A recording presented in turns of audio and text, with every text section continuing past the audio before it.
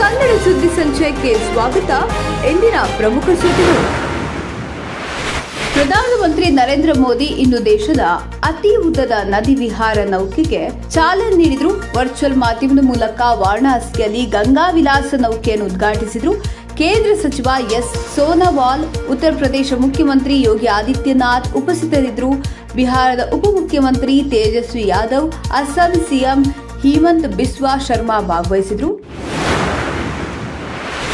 ರಾಷ್ಟ್ರೀಯ ಜನತಾ ದಳದ ಹಿರಿಯ ನಾಯಕ ಶರದ್ ಯಾದವ್ ಎಪ್ಪತ್ತೈದು ವಯಸ್ಸು, ಗುರುವಾರದಂದು ಗುರುಗ್ರಾಮ್ ಆಸ್ಪತ್ರೆಯಲ್ಲಿ ಕೊನೆಯುಸಿರೆಳೆದಿದ್ದಾರೆ ಬಿಹಾರ ಮುಖ್ಯಮಂತ್ರಿ ನಿತೀಶ್ ಕುಮಾರ್ ಅವರ ಆಪ್ತ ಸಹವರ್ತಿಯಾಗಿದ್ದ ಶರದ್ ಯಾದವ್ ಮಾಜಿ ಕೇಂದ್ರ ಸಚಿವರೂ ಆಗಿದ್ರು ಕೆಲವು ತಿಂಗಳುಗಳಿಂದ ತೀವ್ರ ಅನಾರೋಗ್ಯಕ್ಕೆ ತುತ್ತಾಗಿದ್ದ ಕೇಂದ್ರ ಮಾಜಿ ಸಚಿವ ಆರ್ಜೆಡಿ ನಾಯಕ ಶರದ್ ಯಾದವ್ ಗುರುವಾರ ರಾತ್ರಿ ನಿಧನರಾಗಿದ್ದಾರೆ. ಸಂಸತ್ತಿನ ಬಜೆಟ್ ಅಧಿವೇಶನವು ಜನವರಿ ಮೂವತ್ತೊಂದರಿಂದ ಆರಂಭವಾಗಲಿದ್ದು, ಏಪ್ರಿಲ್ ಆರರವರೆಗೆ ನಡೆಯಲಿದೆ ಎಂದು ಕೇಂದ್ರ ಸಂಸದೀಯ ವ್ಯವಹಾರಗಳ ಸಚಿವ ಪ್ರಹ್ಲಾದ್ ಜೋಶಿ ಶುಕ್ರವಾರ ತಿಳಿಸಿದ್ದಾರೆ.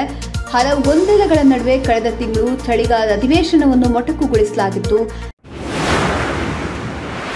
ಕೇಂದ್ರ ಗೃಹ ಸಚಿವ ಅಮಿತ್ ಶಾ ಇಂದು ಜಮ್ಮು ಕಾಶ್ಮೀರದಲ್ಲಿ ಉನ್ನತ ಮಟ್ಟದ ಸಭೆಯನ್ನು ನಡೆಸಿದ್ರು.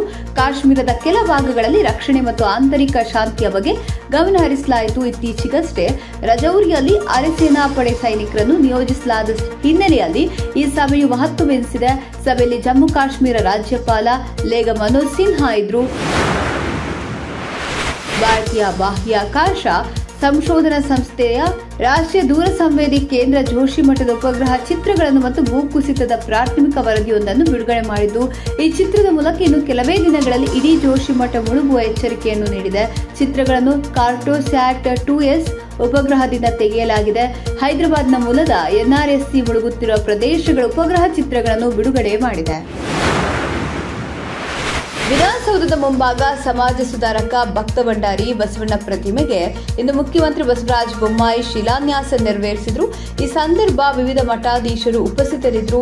ಈ ಸಂದರ್ಭ ಮಾತನಾಡಿದ ಮುಖ್ಯಮಂತ್ರಿ ಶತಮಾನಗಳ ಹಿಂದೆಯೇ ಸಮಾಜದಲ್ಲಿ ಪ್ರಜಾಪ್ರಭುತ್ವ ಮೌಲ್ಯಗಳನ್ನು ಪಸರಿಸಿದ ಕೀರ್ತಿ ಬಸವಣ್ಣನವರಿಗಿದೆ. ನಾಡಪ್ರಭು ಕೆಂಪೇಗೌಡ ಅಭಿವೃದ್ಧಿ ಉತ್ತಮ ಆಡಳಿತಕ್ಕೆ ಮಾದರಿಯಾಗಿದ್ದಾರೆ. ನವ ಕರ್ನಾಟಕವು ಇಂತಹ ಮಹನೀಯ ಮೌಲ್ಯಗಳನ್ನು ಅಳವಡಿಸಿಕೊಂಡು ಅಭಿವೃದ್ಧಿ ಪಥದಲ್ಲಿ ಸಾಗಲಿದೆ ಎಂದರು. ಹುಬ್ಬಳ್ಳಿಯ ರೈಲ್ವೆ ಮೈದಾನದಲ್ಲಿ ಇಪ್ಪತ್ತಾರನೇ ರಾಷ್ಟ್ರೀಯ ಯೋಜನೋತ್ಸವಕ್ಕೆ ಪ್ರಧಾನಿ ನರೇಂದ್ರ ಮೋದಿ ಅವರು ಗುರುವಾರ ಚಾಲನೆ ನೀಡಿದರು. ಈ ಸಂದರ್ಭ ಮಾತನಾಡಿದ ಪ್ರಧಾನಿ ಅವರು, ವಿವೇಕಾನಂದರಿಂದ ಪ್ರೇರಣೆ ಪಡೆದು ಕಾರ್ಯನಿರ್ವಹಣೆ ಮಾಡಲಾಗುತ್ತಿದೆ ಶೇಕಡ ನಲವತ್ತಕ್ಕೂ ಹೆಚ್ಚು ಯುವಕರಿರುವ ದೇಶ ನಮ್ಮದು. ಈ ಸಮೂಹಕ್ಕೆ ಹಲವು ಯೋಜನೆಗಳನ್ನು ಜಾರಿಗೆ ತರಲಾಗಿದೆ. ಐದು ಲಕ್ಷ ಯುವಕರಿಗೆ ಸ್ವಯಂ ಉದ್ಯೋಗ ನೀಡುವ ಯೋಜನೆ ಜಾರಿ ಮಾಡಲಾಗಿದೆ ಎಂದು ಹೇಳಿದರು. ಈ ಬಾರಿ ಗಣರಾಜ್ಯೋತ್ಸವ ಪರೇಡ್ನಲ್ಲಿ ಭಾಗವಹಿಸಲು ಕರ್ನಾಟಕದ ಸ್ತಬ್ಧ ಚಿತ್ರಕ್ಕೆ ಕೊನೆ ಕ್ಷಣದಲ್ಲಿ ಅವಕಾಶ ಲಭಿಸಿದೆ. ನಾರಿಶಕ್ತಿ ತೀವ್ನ ಸ್ತಬ್ಧ ಚಿತ್ರವನ್ನು ಕರ್ನಾಟಕ ಪ್ರದರ್ಶಿಸಲಿದೆ. ಕಳೆದ ಹದಿಮೂರು ವರ್ಷಗಳಿಂದ ಗಣರಾಜ್ಯೋತ್ಸವದ ಪರೇಡ್ನಲ್ಲಿ ಕರ್ನಾಟಕದ ಸ್ತಬ್ಧ ಚಿತ್ರ ಪ್ರದರ್ಶನವಾಗ್ತಾ ಬರ್ತಿದೆ. ಈ ಬಾರಿ ಸ್ತಬ್ಧ ಚಿತ್ರವನ್ನು ನಾರಿಶಕ್ತಿ ಎಂಬ ವಿಷಯದ ಮೇಲೆ ರಚಿಸಲಾಗಿದೆ.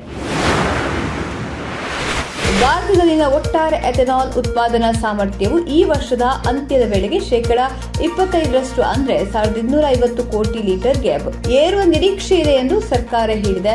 ಯೋಜನೆಗಳ ತ್ವರಿತ ಅನುಮತಿಗಾಗಿ ಪೂರ್ವಭಾವಿ ಕ್ರಮಗಳನ್ನು ತೆಗೆದುಕೊಳ್ಳಲಾಗಿದೆ.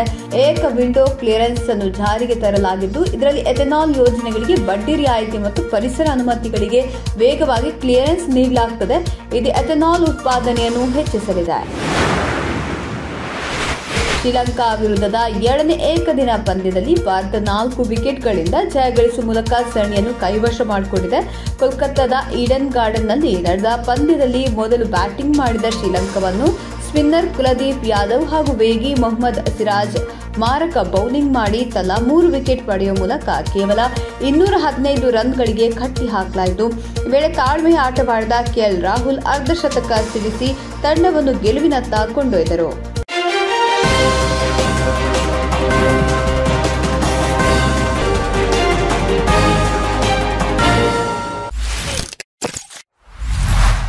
ರಥಂ ಕನ್ನಡ, ನಿಮ್ಮ ಚಿಂತನೆ ನಿಮ್ಮ ಕೈಯಲ್ಲಿ. ಹಿಂದೆ ಡೌನ್ಲೋಡ್ ಮಾಡಿ.